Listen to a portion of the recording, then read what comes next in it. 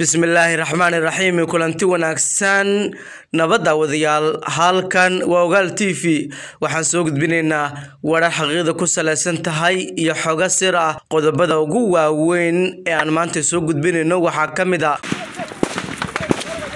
wararkii ugu dambeeyey duqeymo ee diyaaradaha dagaalka ee dowladda turkiga maalintii labaad ka wada deegaanka masaajid cali guduude ee gobolka shabeellada dhexe. Xogta kulan uu madaxweyne xasan sheekh maxamuud uu iskugu yeeray madaxda maamul goboleedyada oo dhowaan ka furmaya muqdisho iyo qodobo looga hadlayo ayaan idiin soo gudbi doonaa. Toogasho ka dhacday muqdisho iyo wararkii ugu dambeeyey ee dagaalada ayaa sidoo kale warka ogaal t v aad ku daawo doontaan u diyaargarooba qodobada aad maqasheen oo faahfaahsan balse marka hore daawadayaal inagala qayb qaata faafinta warkan idinkoo gaarsiinaya saaxiibadiin kuna sheergaranaya guruubyada waadna ku mahadsan tihiin haddii aad nagu reebteen waxay xogaad heysaan qaybta kommentiga ee hoose.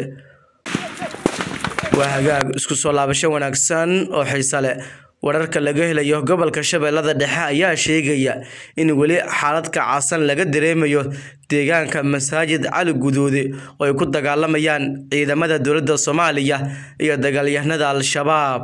Dagaalka oo mid culus ayaa waxaa ka qayb qaadanaya diyaaradaha dagaalka turkiga oo xalay ilaa saakay gantaalo ku garaacaya goobaha ay ku sugan yihiin al-shabaab qaar ka mid ah dadka deegaanka ayaa inoo sheegaya in duqeynta si xoogan looga dareemayo deegaanka islamarkaana hubka si weyn looga maqlayo halkaasi.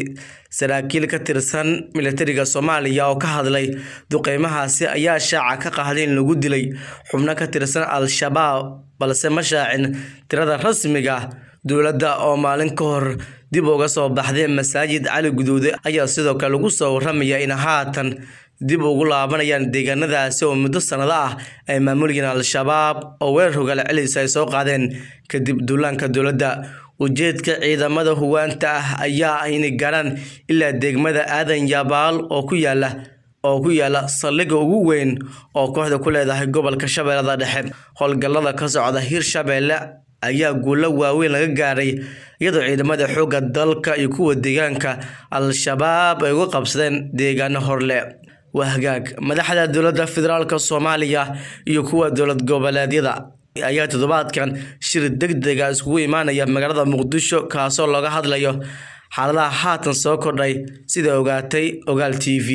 Ilaa waradee lagu kalsoon yahay ayaa sidoo kale inoo xaqiijiyey in shirkan uu iclaamiyey madaxweyne xasan sheekh maxamuud isla markaana labaatan iyo tobadan bishan uu ka qabsoomayo villa soomaaliya xasan sheekh maxamuud ayaa casuumaad u fidiyey shanta hogaamiye sida puntland jubbaland koonfur galbeed iyo hirshabeelle oo lagu wado inay soo gaarhaan muqdisho.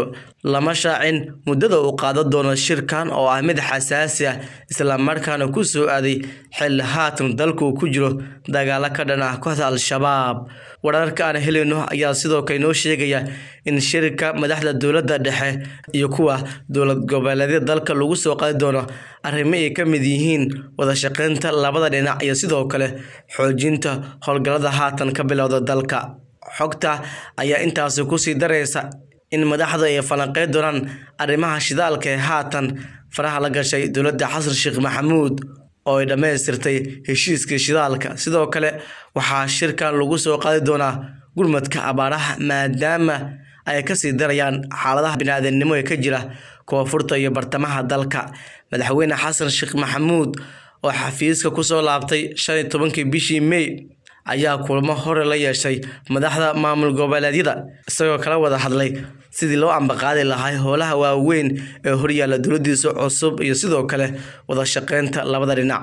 Ugu dambeyntiina maxkamadda ciidamada qalabka side ee soomaaliya ayaa xukun dila ku fulisay laba xubnood oo ka tirsan al-shabaab sida warkan inagu faahfaahinayo wariyeena xasan anteeno maxkamadda ciidamada qalabka sida ee dowladda federaalk soomaaliya ayaa saaka waxay xukun dil ah ku fulisay shaceeb cabdulaahi maxamed iyo saadaq cabdijabaar cumar kuwaasi oo lagu helay inay ka tirsanaayeen dagaalamayaasha al-shabaab. Labada ruux ee dilka toogashada lagu fuliyey ayaa waxaa la sheegay inay horey magaalada muqdisho ugu geysteen dilal qorshaysan waxaana maxkamadda ciidamada qalabka sida horey u xukuntay eedeysanayaashan iyadoo sheegtay in ay ku heshay cadeymo ku filan.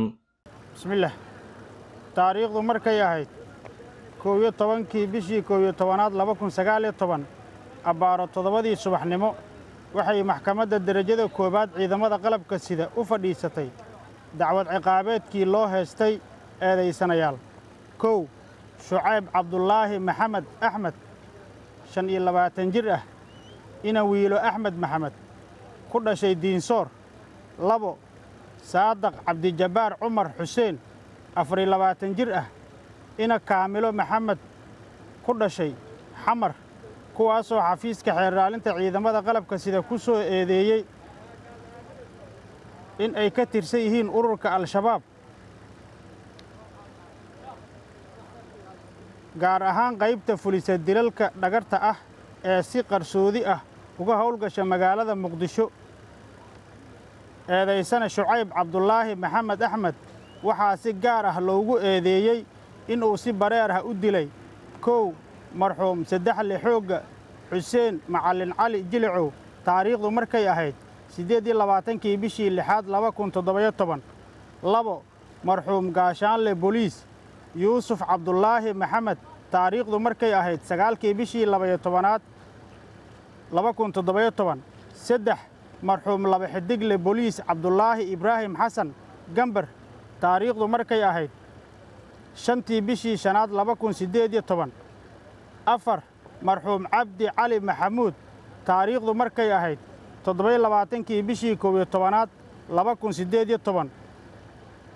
Eedaysane saadaq cabdijabbaar cumar xuseen waxaa si gaar ah loogu eedeeyey inuu dil bareer ah oo gaadmo ah ku dilay marxuum deble xoogga maxamed xasan ibraahim.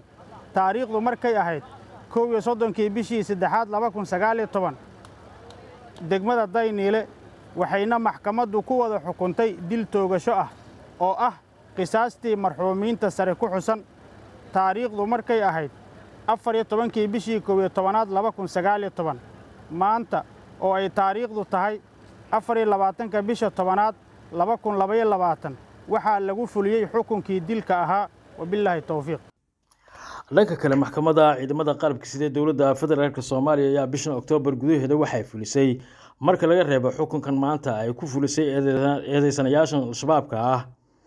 Laba xukun oo hore iyadoo xukunka koowaad uu dhacay toddobadii oktoobar islamarkaana lagu fuliyey xidigle cabdinaasir daa-uud sheekh kadib markuu tiray taliyihii ururka konton sagaalaad ee gaadiidka ciidamada xoogga dalka soomaaliya dhamme cabdi maxamed hurdaaye taasi oo ay beesha baadacadde ay ku doodeen in goobta lagu fuliyo xukunka xukunkaasi dilka ah marxuumkaasi aysan joogin marxuumka eeladiisa dilka kale ayaa waxa uu dhacay labayo labaatankii oktoobar iyadoo lagu fuliyey dable axmed cabdi cabdulaahi caydiid oo laba kun iyo toddobadii dil u geystay wasiir siraaji taasi oo beesha cayr fadhi ay ku yeesheen ay kaga soo horjeesteen dilkaasi lagu fuliyey dable caydiid. Islamarkaasna ay ku tilmaameen inuu dilkaasi ahaa dable caydiid u geystay wasiir siraaji mid kam ah. Sida ay ku doodeen odayaasha dhaqanka beesha cayr. Si kastaba ahaatee dilalkan ay fulisay maxkamadda ciidamada qalabka sida ee dowladda federaalk soomaaliya ayaa ahaa kuwa markaasi soo maray heerar kala duwan ee maxkamadaha kala duwan ee ciidamada qalabka sida. Taasina ay ku fuliyeen eedeysanayaashii markaasi xukun sugayaasha ahaa muddada dheer iyadoo dable caydiid uu muddo shan sano iyo shan bilood uu ku xidhnaa xabsiga dhexe ee magaalada muqdisho